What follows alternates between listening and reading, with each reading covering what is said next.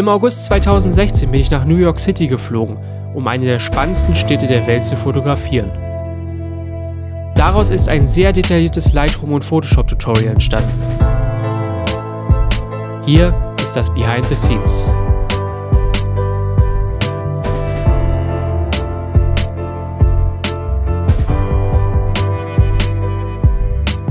Wir sind gerade in der neuen Metrostation vom World Trade Center. Die wurde ja zwangsweise neu gebaut, aber schaut euch mal an. Im Gegensatz zu allen anderen Metrostationen ist die hier wirklich sehr, sehr modern und sieht absolut geil aus. Wir haben hier gerade so ein paar Fotos gemacht mit dem Fisheye-Objektiv und ungefähr so ist ja die Linse hier auch. Schaut euch das mal an. Mega geil auf jeden Fall und ähm, ja, wir durften hier Fotos machen. Wir haben extra gefragt vorher den Security-Dienst. Wir dürfen hier Fotos machen, allerdings ohne Stativ natürlich. Das darf man in Amerika irgendwie an keinem Bahnhof. Ist ja auch okay. Aber es ist auf jeden Fall auch genug Licht da, um hier mit Blende 8, ISO 100 und dann einer 100 Zero so Fotos zu machen. Auf jeden Fall sehr, sehr cool. Und vor allem, wenn man hier oben durch das Dach durchguckt, dann sieht man sogar so ein ganz klein bisschen das World Trade Center. Also richtig, richtig geil.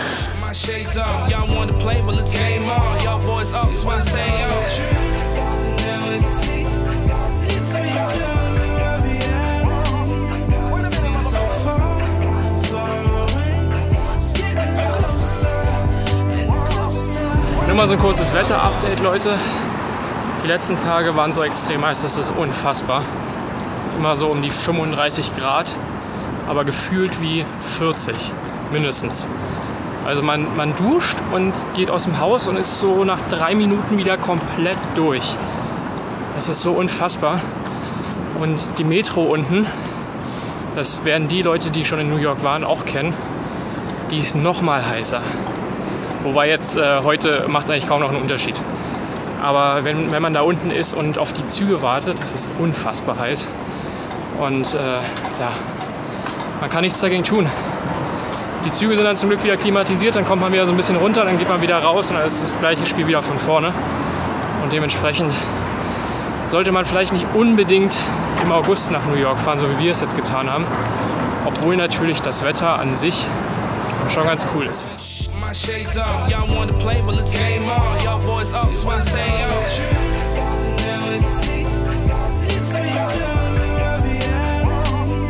Seems so far, far away. It's getting closer and closer. So Freunde, ich bin vor dem World Trade Center, vor dem One World Trade Center wohlgemerkt. Und ähm, ja, es ist so langsam wieder Zeit für den Sonnenuntergang.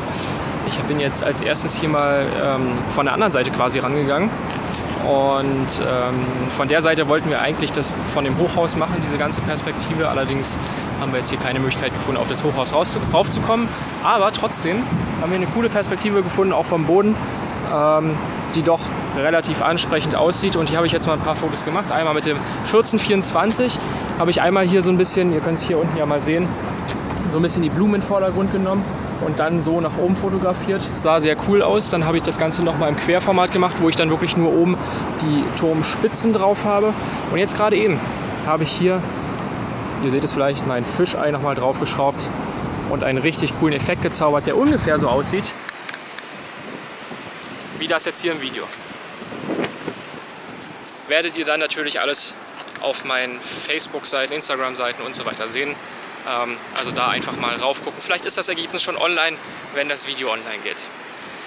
Wir gehen jetzt auf jeden Fall nochmal auf die andere Seite und ähm, werden da quasi dann die Skyline mit dem World Trade Center so ein bisschen zusammen fotografieren. Von so einem Steg aus. Ähm, sollte relativ cool aussehen. Jetzt ziehen hier gerade schon wieder Wolken auf, wie immer kurz vor Sonnenuntergang. Also das Pech bleibt uns treu. Aber mal gucken, was so bei rumkommt. Vielleicht haben wir ein bisschen Glück zumindest und wir erwischen einen ganz guten Spot und auch eine ganz gute Zeit zum Fotografieren. Bis gleich. Freunde, es ist unfassbar, das Wetter ist unfassbar. Hinter uns gerade ein ziemlich dramatischer, geiler Sonnenuntergang eigentlich. Zwischendurch regnet es immer wieder wie verrückt. Naja, wie verrückt nicht, aber es regnet auf jeden Fall. Es hat gedonnert, es hat geblitzt. Jetzt fängt es gerade wieder an zu regnen. Ähm, also ist wirklich jede Minute hier anderes Wetter und es ist Wahnsinn, was hier abgeht. Und äh, eigentlich wollten wir diesen Spot hier fotografieren. Sieht sehr, sehr geil aus, gerade dann in der blauen Stunde, wenn die ähm, Gebäude noch beleuchtet sind und so weiter, dann sollte das auf jeden Fall sehr, sehr geil werden. Ja, wir hoffen, dass es was wird. Das Wetter zieht sehr schnell weiter. Es ist sehr windig und dementsprechend fliegen die Wolken auch gerade so über uns hinweg. Aber man weiß halt nie, was kommt. Ne? Wir sind halt direkt an der Küste. Wir werden sehen, was passiert. So, das Wetter hat sich wieder ein bisschen beruhigt. Ähm, da drüben geht jetzt gerade die Sonne unter. Und über uns sieht es aktuell so aus. Also fast wieder blauer Himmel. Richtig gut. Und hier hinter uns ist die Skyline, die ich fotografieren möchte. Ich habe jetzt ähm, mehrere Pläne. Zum einen möchte ich hier ein Panorama machen. Das heißt, ich werde hier mit meinem 14 mm äh, hochkant von hier drüben einmal darüber das Panorama machen.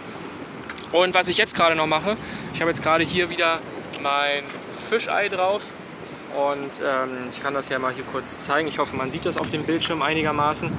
Dadurch kriegt man einen sehr, sehr geilen Effekt hier hin. Alles wirklich schön kugelrund, aber dafür habe ich wirklich die komplette Skyline drauf. Und das sieht schon sehr cool aus. Und ich muss mal hier ein bisschen besser festhalten. Irgendwie wackel ich ziemlich doll.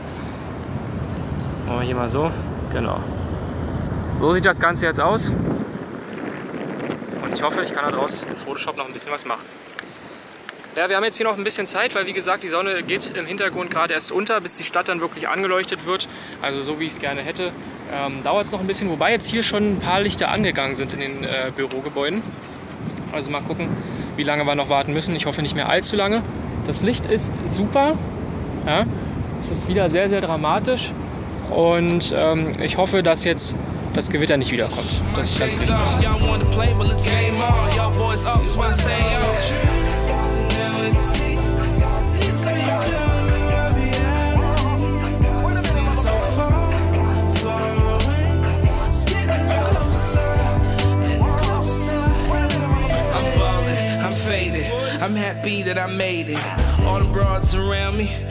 all of them are sedated.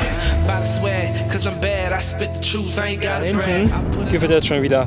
Gerade eben mehrere Blitze gewesen. Also es ist unfassbar, wie nah auch hier teilweise ähm, Gewitter dran sind, ohne dass man selber betroffen ist. Das ist schon echt krass. Genauso waren wir ja gestern auf dem Rockefeller Center. Da haben wir auch ein extrem cooles Gewitter fotografiert. Und ähm, wir selber standen aber noch oben auf dem Hochhaus. Ich habe mich schon selber immer gewundert, dass wir nicht runtergeholt worden sind, weil äh, auf einem Hochhaus ein Gewitter auf offener Terrasse ist ja schon, schon ein bisschen gefährlicher. Aber irgendwann kamen sie dann doch zu uns, als es dann ein bisschen näher kam. Aber daran sieht man einfach, wie äh, nah und wie unterschiedlich. Oh, jetzt das war geil. Wie nah und wie unterschiedlich ähm, hier dann doch die Wetterlagen sind. So Leute, das Licht ist richtig geil jetzt. Ähm, wir müssen uns auch ein bisschen beeilen, weil jetzt mich schon wieder es anfängt zu regnen. Da hinten kommen schon wieder schwarze Wolken, es blitzt schon wieder und diesmal kommt es auf uns zu. Dementsprechend habe ich jetzt schon einmal eine Reihe hier durchgemacht. Ich zeige euch jetzt noch mal ganz kurz das Setup. Also ich habe jetzt hier das Panorama gemacht und das heißt, dass ich erstens mal mein Stativ hier unten mit diesem Leveler komplett gerade gelevelt habe. Das heißt, das Stativ an sich kann auf einer Schrägen stehen. Diese Platte hier allerdings ist am Ende wieder gerade. Das ist ganz entscheidend, damit ich dann am Ende ein gerades Panorama machen kann. Da drauf kommt mein Kugelkopf und auf dem Kugelkopf habe ich hier meine, meine äh, Panoramaschiene. Ja, das ist nur eine Schiene für einseitige Panoramen. Ähm, es gibt ja auch Aufbauten, hatte ich früher mal für mehrzeitige Panoramen. Das ist dann so ein richtiges äh, Winkelding, aber brauche ich in dem Fall gar nicht, weil ähm, ich mache eigentlich immer nur einseitige Panoramen. Deswegen reicht mir diese Schiene. Das Ganze habe ich dann so ein bisschen nach oben gekippt, weil halt einfach ja, dieses Skyline extrem hoch ist und dementsprechend muss ich so ein bisschen nach, nach oben kippen, damit ich alles drauf bekomme mit den 14 mm. Das werde ich dann später in Lightroom oder in Photoshop dann wieder begradigen, weil natürlich haben wir jetzt stürzende Linien, die man äh, dann später nicht haben möchte. Aber Alter, guckt euch mal an, wie geil das hier in diesem Video aussieht mit der beleuchteten Stadt jetzt hier auch schon. Richtig Hammer. Jedenfalls habe ich dann hier mein ähm, Stativ genommen und hier unten seht ihr auch schon, dass das Ganze hier nummeriert ist. Also hier sind Skalen drin. Ähm, das, ist, äh, das sind die Gradanzeigen quasi, um wie viel Grad man das Ganze dann dreht. Also ich drehe das Ganze dann wirklich nur um seine eigene Achse. Und ich habe dann immer äh, alle 30 Grad ein Foto gemacht, beziehungsweise fünf Fotos, denn ich habe hier äh, auch noch Belichtungsreihen gemacht. Das heißt, ich habe hier jeweils bei jeder Gradzahl fünf Fotos gemacht, von minus 2 bis plus 2. Und ähm, daraus kann ich dann später ein HDR-Panorama machen. Ja? Also wie man auch immer das nennen möchte. Ähm, genau. Das ist so das Vorgehen. Ich habe das Ganze hier noch mit einem Kabelauslöser gemacht, damit ich hier auch die Kamera nicht selber dann noch bewegen muss äh, oder berühren muss. Und dementsprechend ist das Ganze jetzt einmal durch. Ich werde es gleich nochmal machen. Es tröpfelt jetzt allerdings schon relativ stark. Mal gucken, ob ich das jetzt nochmal hinkriege, ohne dass, die, äh, ohne dass das Objektiv wirklich viel Wasser abbekommt. Ähm, so, mal gucken. Also, bis später. So Leute, wow, geil. Habt ihr den Blitz da hinten gesehen? Genau das haben wir gerade noch fotografiert. Ähm, wir sind jetzt fertig. Ich habe jetzt gerade eben noch mal mit dem Fischei die Skyline hier noch mal ungefähr so drauf gehabt. Und wir haben ein bisschen das Gewitter fotografiert, was jetzt doch wieder über Manhattan drüber hinwegzieht. Allerdings ähm, ja, sind wieder Wolken davor und dementsprechend war es schwierig, mal so die Blitze so richtig zu erwischen. Also meistens werden nur die Wolken aufgehellt. Ich habe zwei Fotos, wo wirklich mal Blitze zu sehen sind. Mal gucken, ob ich daraus was machen kann. Ansonsten habe ich jetzt mein HDR-Panorama hier gemacht. Das ist zum Glück noch fertig geworden. Es hat zwar so leicht getröpfelt, aber zwischendurch immer wieder die, äh, das Objektiv abgewischt mit, mit, äh, mit dem Tuch und dann, dann ging das eigentlich. Ja, ein paar Mal blitzt es jetzt hier noch. Also gerade eben hat es fast aufgehört, deswegen haben wir, jetzt aufge äh, haben wir jetzt abgebrochen. Aber jetzt kommen die Blitze wieder. Aber es ist wie gesagt nur hinter den Wolken, von daher nicht ganz so geil. Ähm, ja, wir werden jetzt, denke ich mal, nach Hause fahren ins Hotel und dann morgen früh den nächsten Spot besuchen. Aber vielleicht gehen wir heute Abend sogar noch zum Times Square. Mal gucken. Eigentlich hatten wir es uns vorgenommen, heute Abend, äh, heute Nacht quasi noch den Times Square zu besuchen. Das haben wir nämlich noch gar nicht gemacht. Wir waren nur tagsüber bisher im Times Square. Und gerade in der Nacht wollen wir da auch noch mal ein paar Fotos machen. Hier mit so einem geilen gelben Taxi so im Vordergrund und so. Haben wir schon ein paar Ideen, ähm, wie wir das machen könnten. Müssen wir mal gucken, ob das klappt und ob das auch heute klappt, je nachdem, wie das Wetter jetzt sich entwickelt. Schaut mal, wo wir gerade noch sind. Das ist die alte Feuerwehrstation, wo damals die ersten Feuerwehrleute ausgerückt sind bei 9-11. Das ist ja hier auch direkt um die Ecke. Also da hinten ist ja das neue World Trade Center. Und ähm, ja, ist schon sehr krass zu sehen. Mal so diese Station. Daneben ist auch so, so ein Tribute Center, wo man sich die Geschichte auch nochmal erzählen lassen kann. Und die fotografieren wir gerade hier nochmal. Sieht eigentlich ganz geil aus.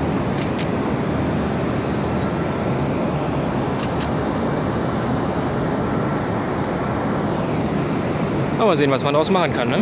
Guten Morgen, neuer Tag, neues Glück. Es ist jetzt ungefähr 5 Uhr und wir sind schon da an unserer Location. Ähm, wir haben uns diesmal hier in Long Island aufgebaut mit Blick auf die Skyline, auf die, ja, auf die Skyline von Upper Manhattan. Ähm, und ja, sieht sehr cool aus, weil wir auch ein sehr cooles Vordergrundelement haben. Wenn ihr das da seht im Hintergrund, das sind so eine Sitzbänke, so eine geschwungenen Sitzbänke. Und die haben wir halt im Vordergrund und dahinter dann die Skyline. Sieht sehr, sehr cool aus. Und es ist hier auch komplett leer. Naja, gut, es ist 5 Uhr morgens, aber ich glaube, das ist hier eher so ein Park von so einer Wohnanlage. Also man kann es öffentlich betreten, aber ich glaube nicht, dass hier auch ähm, tagsüber sehr viel los ist. Von daher ähm, cooler Spot. Ich habe ihn so jetzt auch noch nicht äh, oft gesehen im Internet. Von daher ja, vielleicht mal ein bisschen was anderes. Ähm, so in Einstellungen. Ich komme jetzt mal hier mit rüber. Jetzt bin ich leider nicht mehr im Licht. Ähm, hier seht ihr die Kamera aufgebaut. Und hier, so sieht das erste Ergebnis aus. Also da sieht man schon hier im Vordergrund schön die Bänke und im Hintergrund dann die Skyline. Aktuell ist es noch so, dass ich mit Blende 8 fotografiere, ISO 130 Sekunden, weil es noch relativ dunkel ist. Ähm, für die Highlights mache ich dann immer schon eine Unterbelichtung, aber ansonsten bleibt das jetzt erstmal so bis es dann heller wird. Auf der anderen Seite, da hinten, geht nachher die Sonne auf. Da wird schon ein bisschen heller, aber äh, das dauert noch ein bisschen. Solange bleiben wir jetzt noch hier, gucken mal, wie es läuft und dann, ich gehe mal wieder ins Licht hier. Und äh, dann werden wir hoffentlich mit einem coolen Ergebnis nach Hause kommen. So Leute, wir sind fertig mit dem Spot. Es ist jetzt auch schon hell und ähm, ja, wir haben mal wieder Pech gehabt. Haben uns extra jetzt heute mal einen Spot ausgesucht, wo es nicht so wichtig ist, wie der Sonnenaufgang aussieht. Und ähm, wir haben ja sogar in die andere Richtung fotografiert. Das heißt, äh, die Sonne geht ja eigentlich da drüben auf. Und jetzt guckt euch mal an, wie geil dieser Sonnenaufgang heute aussieht. Also das, das Pech bleibt uns echt treu. Jetzt haben wir einmal nicht auf den Sonnenaufgang spekuliert und dann wird er halt geil. Naja. Also wie gesagt, irgendwie ist diese Woche so ein bisschen verzwickt für uns. Und, aber wir versuchen trotzdem natürlich immer das Beste daraus zu machen. Ich hoffe, dass wir jetzt, wir haben noch zwei Sonnenaufgänge vor uns, also Dienstag und Mittwoch sind noch da. Ich hoffe, dass wir ähm, da noch zwei gute Sonnenaufgänge haben werden und wir dann auch noch mal ein bisschen was rausholen können. Aber es ist echt so, es läuft irgendwie alles schief, was schief laufen kann und irgendwann zweifelt man dann so ein bisschen an sich selber, warum, warum gerade wir. Ja, man gibt so viel Geld aus für so eine Reise. Ähm, Manhattan ist ja auch nicht gerade billig. Und ähm, dann sowas. Irgendwie, das ist so nicht nachvollziehbar. Aber es ist nun mal so. Immer wenn ich darüber gucke, werde ich wieder so, oh nein. Egal. Ja, wir gucken jetzt weiter. Wir gehen jetzt nachher nochmal in den Central Park, da das ja gestern wieder nicht geklappt hat, ähm, weil es zu heiß war. Hoffen wir, dass es heute besser ist, weil heute ist auch die Temperatur, ich glaube, heute werden es nur 32 Grad, so ist es zumindest angesagt und dementsprechend probieren wir es heute nochmal. Und ich hoffe, dass es dann endlich heute klappt mit dem Central Park Shot. Dann kann ich euch den auch mal zeigen. So Leute, wir haben es endlich geschafft. Im dritten Versuch sind wir jetzt endlich dahin gekommen, wo wir hin wollten im Central Park auf den Roof Garden im Museum. Und ähm, ja, wir haben erstmal 25 Dollar Eintritt bezahlt für das Museum. Nur so kommt man hier überhaupt drauf. Aber dann hat man halt einen entsprechend geilen Blick über den Central Park und hinten die Skyline. Das ist einfach unglaublich geil, wenn im Vordergrund so viel Grün ist, so ein bisschen unscharf gemacht und im Hintergrund dann die Skyline. Also richtig, richtig geiler Spot. Ich habe jetzt hier gerade so viele Fotos gemacht. Ähm, ich dachte erst, dass man mit 200 mm fotografieren muss, muss man aber gar nicht.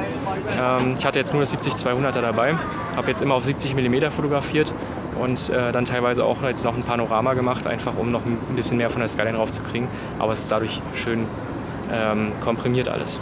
Ja, sehr, sehr cool. Ich mache jetzt hier noch ein paar Bilder und dann geht's weiter. Was auch noch wichtig ist zu wissen, wenn ihr hier hoch wollt, ähm, es werden keine großen Taschen erlaubt. Das heißt, wir mussten hier mit unserem Fotorucksack, durften wir nicht mit rein. Ähm, deswegen sind wir einzeln hochgegangen. Ähm, Micha wartet jetzt gerade unten mit meinem Rucksack. Ich habe jetzt nur die Kamera mitgenommen und das eine Objektiv und das Stativ halt. Für das Stativ kriegt man ganz einfach eine Genehmigung unten an der Rezeption.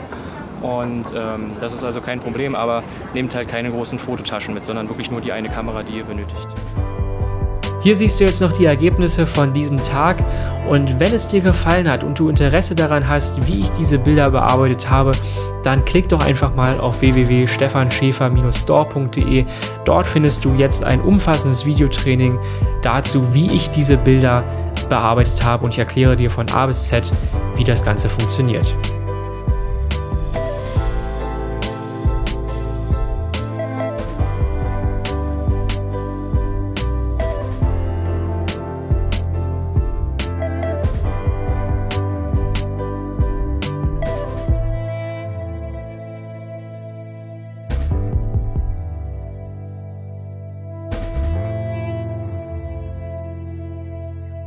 Wenn dir das Video gefallen hat, dann kannst du natürlich auch gerne einen Daumen nach oben geben. Und wenn du Fragen hast, kommentiere unten unter dem Video. Ich würde mich freuen, wenn du beim nächsten Mal wieder einschaltest. Bis dahin, ciao.